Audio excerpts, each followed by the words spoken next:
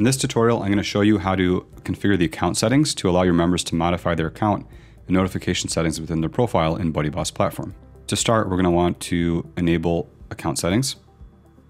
And now, when we go on the front end, you'll see that in our profile dropdown, account is one of the options now. So we have login information and privacy. I'm going to go through these. I'll do data, export data in another video. So first we have our email. We can change our email here and we can change our password. Pretty straightforward. Go to privacy settings and we can see who can see our profile details.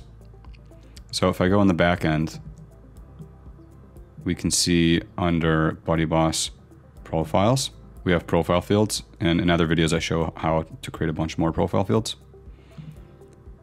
that can be edited. If I go to my profile and click edit, I can edit these fields as well. So this allows you to set who can actually see them. So if I make it public, then anybody, excluding logged out members, can see that data, unless you set your whole site to private network. And only me means the logged in user can see it, but nobody else except for admins. And all members means anyone who's logged in can see the data. There are some more options we can enable here if we turn on some other components. So I'm going to go back to BuddyBoss components, and then I'm going to turn on notifications, social groups,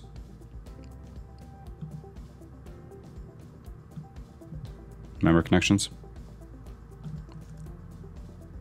Now you'll see some extra options. So we have email preferences. This is related to notifications. And it's basically saying choose your email notification preferences. So when a member invites you to join a group, a member invites you to connect, etc., I have these new options. I could go turn on, let's say, private messaging. And now I can get notification when someone sends me a message. So it's going to send me a notification in the system.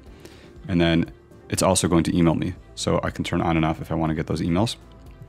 And then group invites, we can see this notice currently every member in the community can invite you to join their groups. Optionally, you may restrict group invites to your connections only.